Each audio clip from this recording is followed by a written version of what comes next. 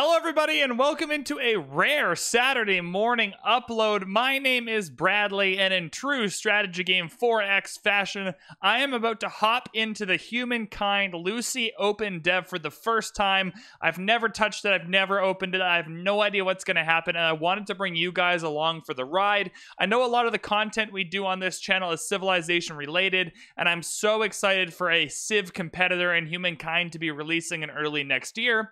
Some of the people I've talked talk to about this game, as we've been talking about it on Twitch, a lot of people have been asking, is this going to be a Civ killer? And that's not how I like to think about games, right? I love Civilization. A lot of you love Civilization. And I think it's nice and it's healthy to have another game in the same vein with the same types of things going on that is that is something that can compete with Civ and make it better, right? I think if we end up with an amazing Civ 7 or whenever the next Civ game is, uh, and an amazing Humankind game, I think having two great, amazing games for us to dig ourselves into is awesome for us. So we're about to hop in here. I have no idea if Humankind is going to be amazing or terrible or anything. I haven't really looked at it. I haven't really seen a lot. I watched the first couple minutes of Boesthius' YouTube videos, and that's it. So my hope for this game is that through this open dev and through us getting to experience the full game, that it becomes a civilization competitor and both games can influence each other and can both become amazing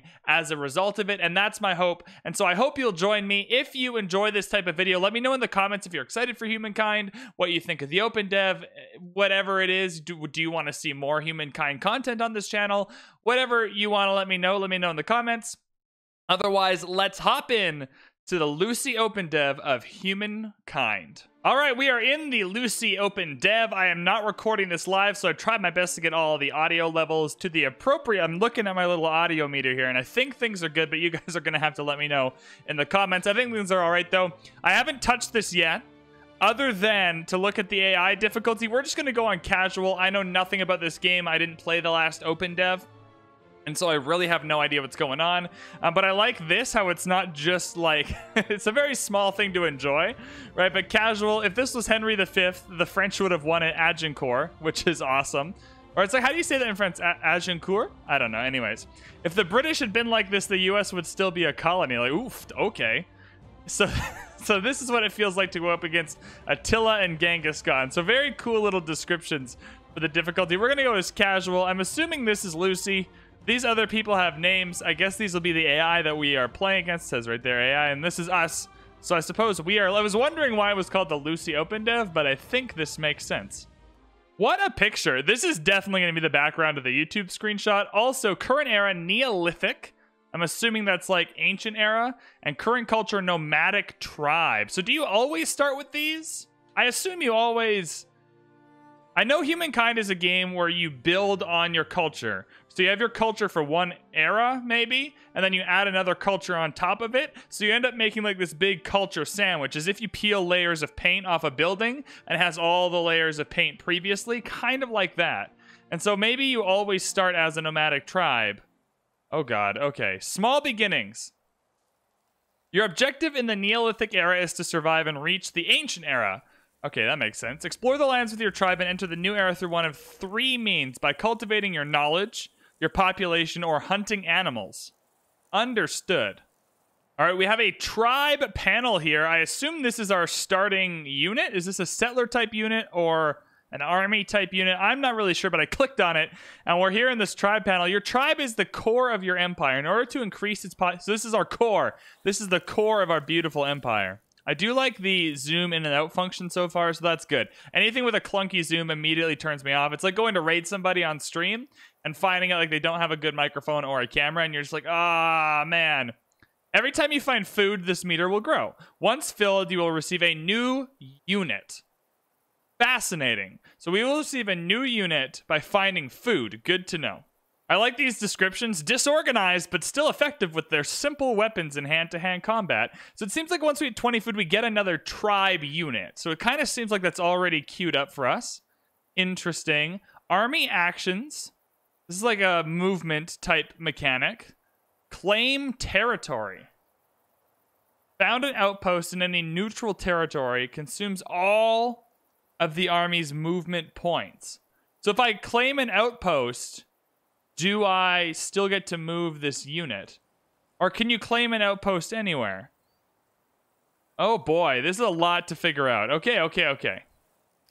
All right, so the first thing I figured out, just clicking all the buttons to find out what they do. We have yields on the tiles. Tiles, question mark? Yeah, they're kind of like tiles. We should see if there's any like lines in the option to define the tiles.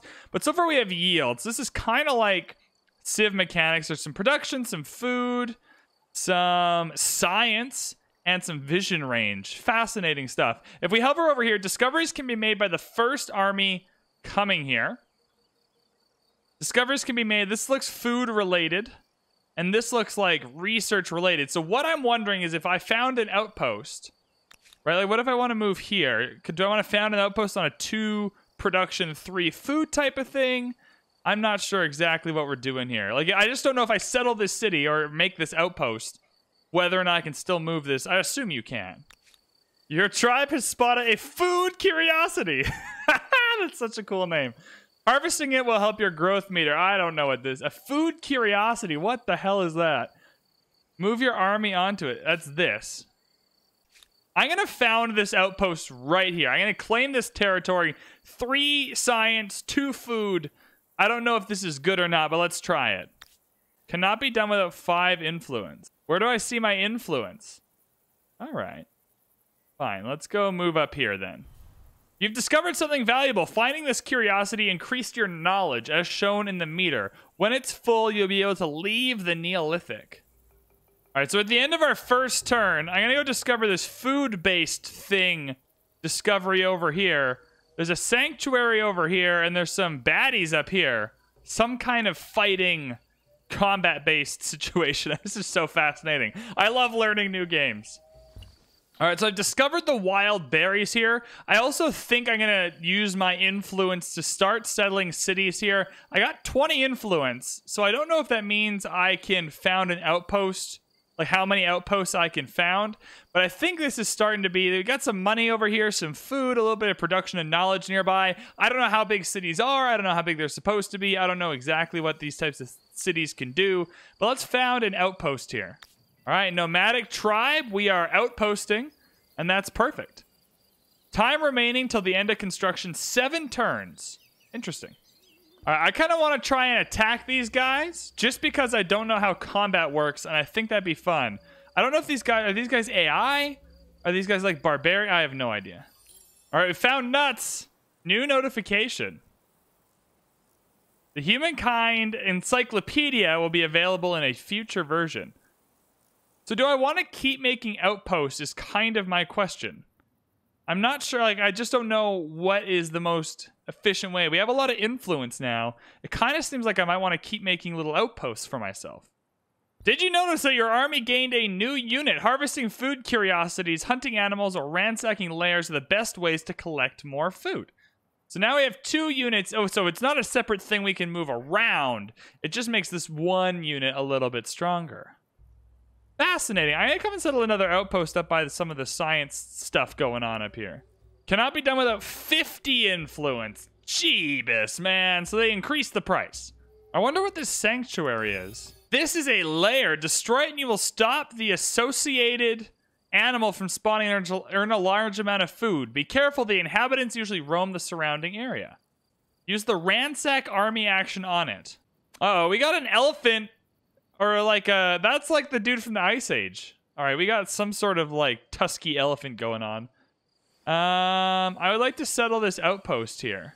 Plus six food, plus two science, plus three, or plus two production, plus three science. Yeah, let's do that.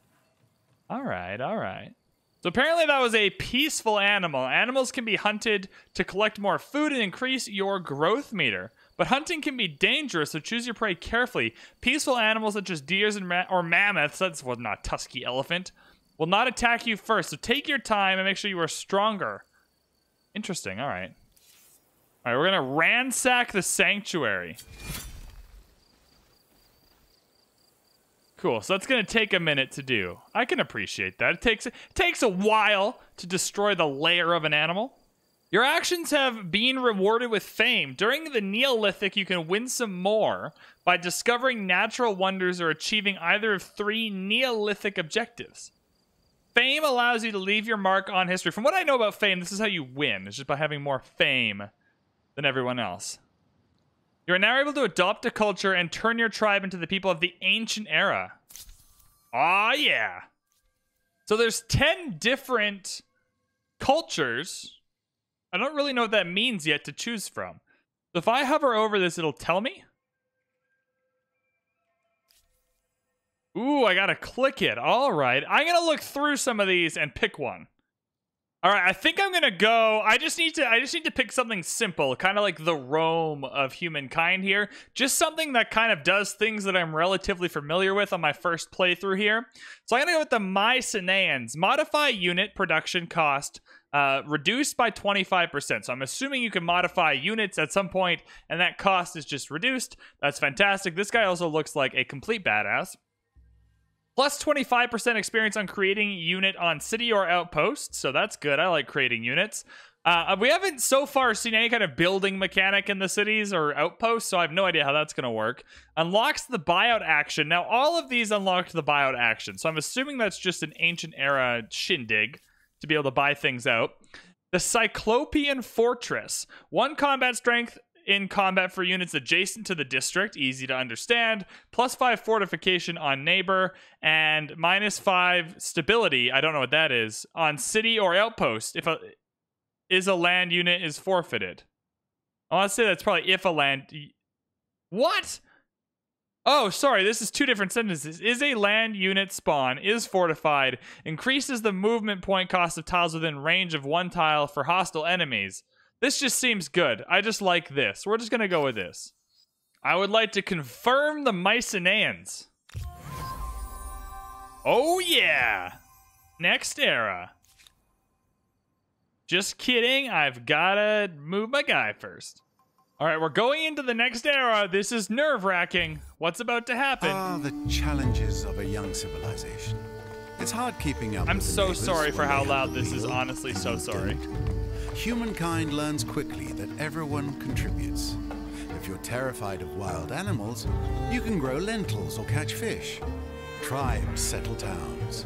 Towns develop markets, and markets begin the exchange of goods, services, and most important, rumors and hearsay.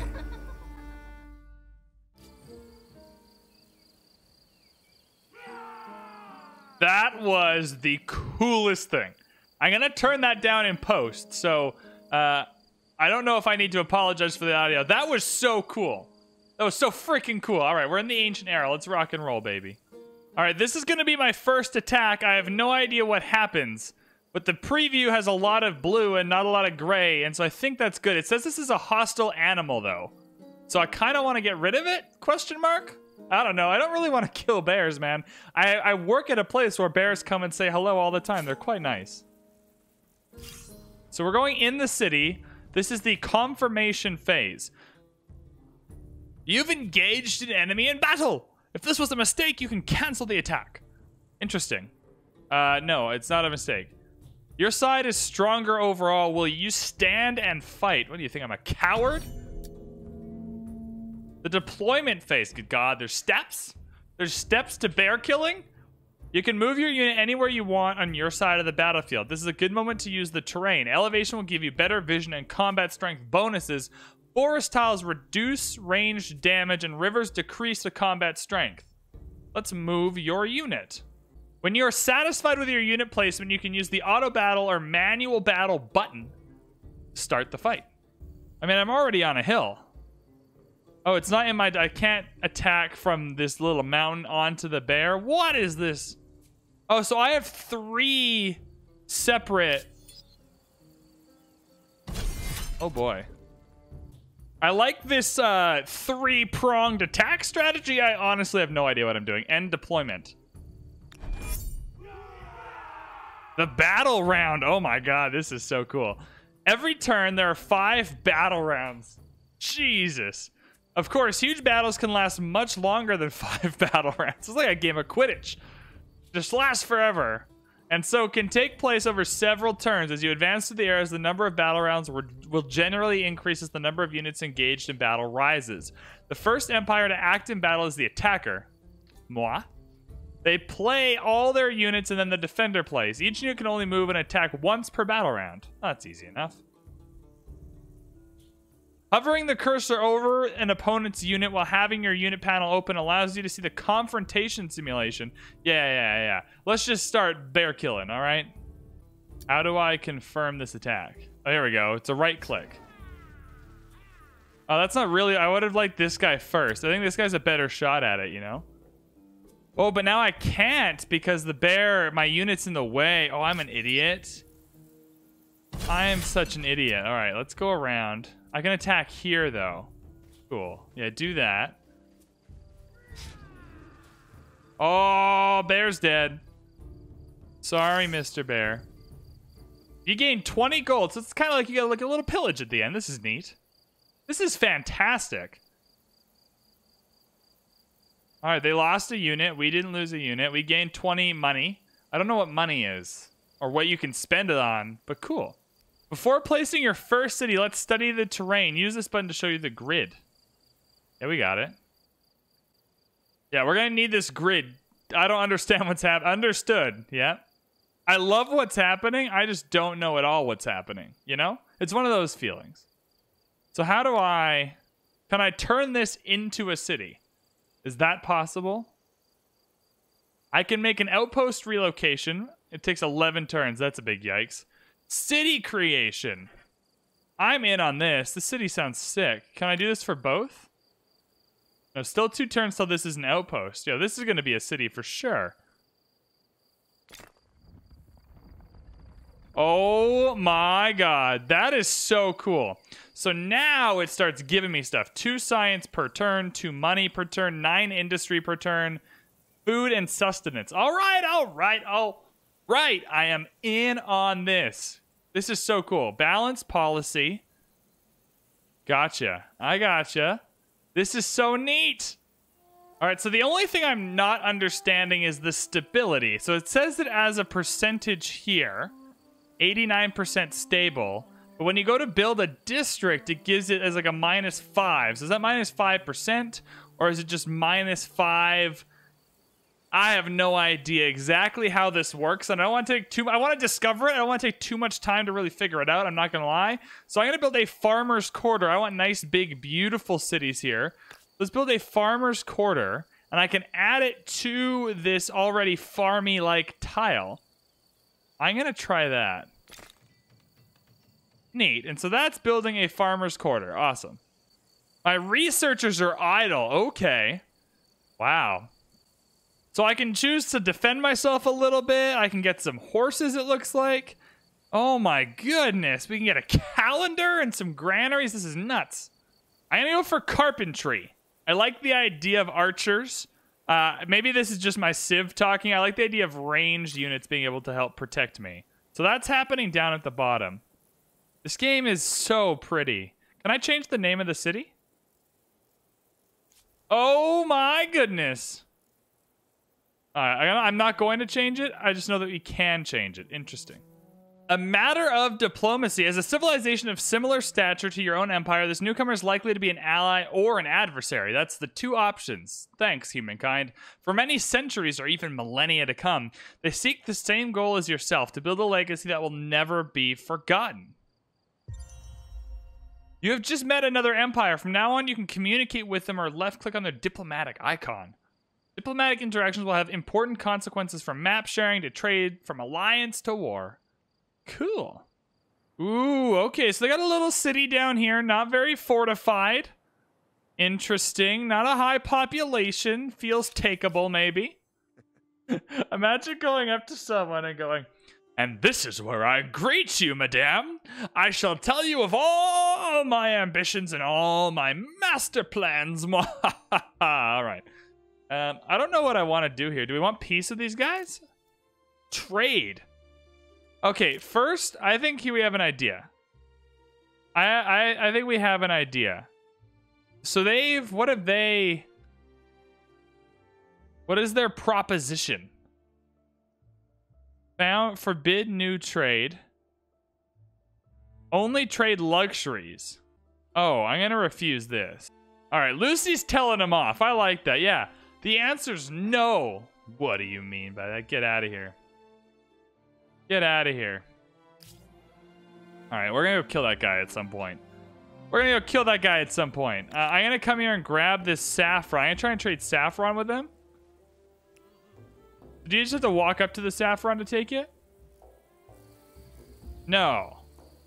So wait, is it automatically just here? A vivid, fragrant spice used in dyes, perfumes, medicines, and of course, food. Grants extra resources from tiles, producing the corresponding resource plus five stability on all cities. So how do I acquire this? Okay, interesting. Interesting stuff. Let's just keep exploring then.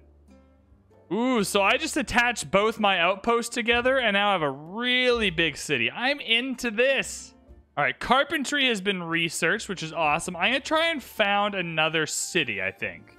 I don't know how many outposts you want to make into one city. I think these guys are going to be a little bit of a problem. I'm going to try and expand up in this direction, maybe down here a little bit, and get another outpost and create a second city just so I can play with the mechanics a little bit more. All right, I really like the idea of getting an outpost kind of in the middle of all this. Lots of production around here, a little bit of science, some food. I think this is probably smart. I'm going to build an outpost here, question mark.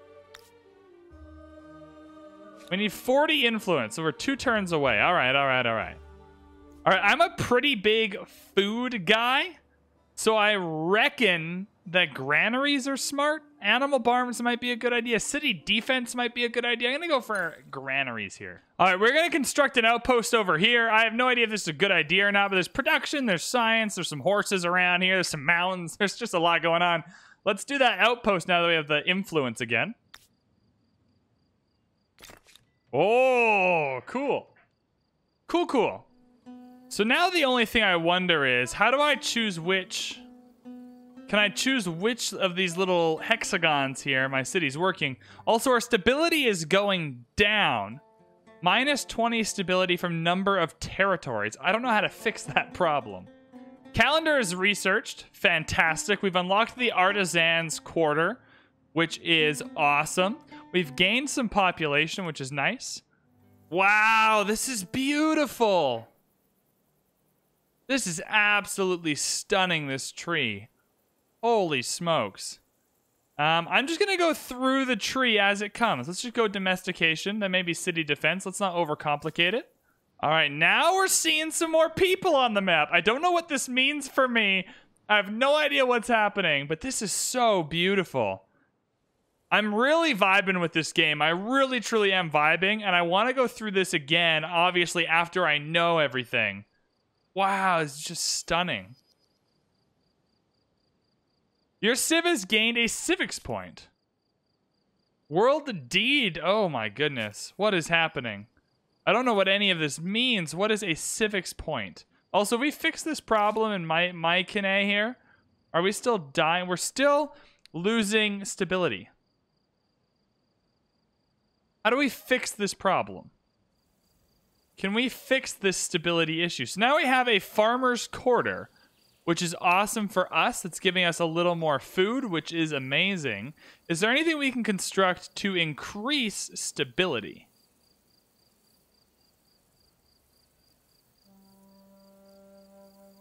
It doesn't seem like it, so I'm to have to study the stability a little more. I'm pretty in on grabbing.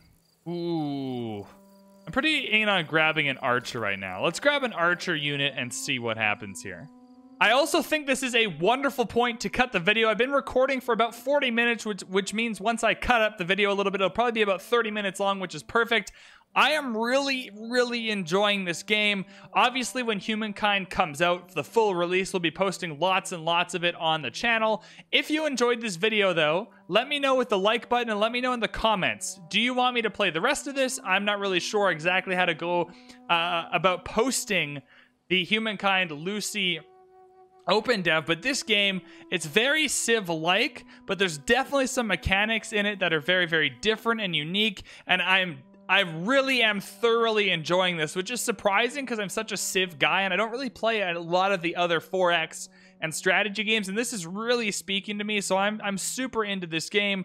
There's still a lot to learn. There's still a lot for me to go through, but if you enjoyed this video, again, let me know with the like button and the comments. Hit the subscribe button if you want to see more of this kind of stuff on the channel. Otherwise, man, this is so cool. Thank you so much for watching, and I'll see you in the next one.